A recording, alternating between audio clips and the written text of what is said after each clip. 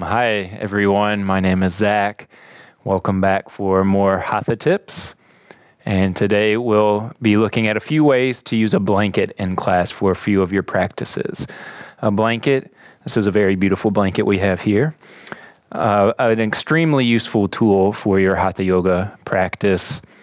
I highly encourage using props to explore what feels best in your body we want the practice to be enjoyable and easeful and fun in our bodies. So there's no need to strain and feel like we can't use props. So, one good way of having a blanket is having it at the back of your mat as you're practicing some sun salutations, which will include your downward facing dog, a very classic, often seen pose in Hatha Yoga now. So, you'll see with the blanket that my heels can easily come down and this makes it more comfortable in my legs, in my hips. The entire pose actually is much more comfortable this way as opposed to not having the blanket. And like many people, my heels do not come all the way to the floor. And there's a little tightness, a little holding that that creates. So Instead, we can place the blanket there, and the fold of the blanket will go right in the middle of the foot where the arch is. It's really amazing how much more comfortable this is. And there's a little more lift in the hips and in the low back. So, that's one way of using the blanket. And in a similar fashion, in our malasana, the garland pose practice.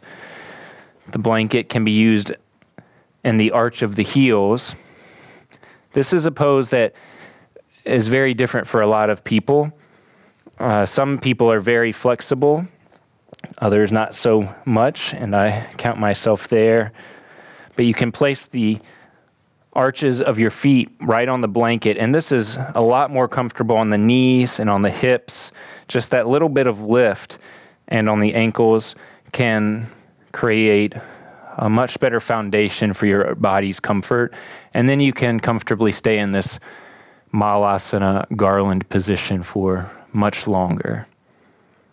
Otherwise, there can be uh, points of tightness throughout the ankles and legs. So, those are two quick poses that the blanket is very helpful in. And Lastly, for forward folds, not only can you sit on the edge of a blanket to help lift the sits bones and keep natural curves in the back, which is a very beneficial thing to do, but you can also roll the blanket and have the blanket under your knees. This can be especially helpful if you have tight hamstrings or very tight low back muscles. By lifting the knees, it helps the hamstrings to release more easily and more quickly, and it emphasizes the stretch along the muscles of the back. So for Paschimottanasana, the full forward fold, you would sit up, and with the knees bent, you can release forward. And there's less pulling, less of a stretch in the legs, and it's more emphasized through the low and middle back.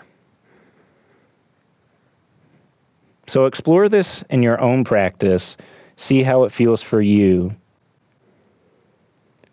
But for many people who do have tight hamstrings, this can be a wonderful way of transforming your forward fold practice. So, those are three quick tips on how to use the blanket. There are many more options with that, but I hope you find that helpful, and we will see you next time. Om Shanti.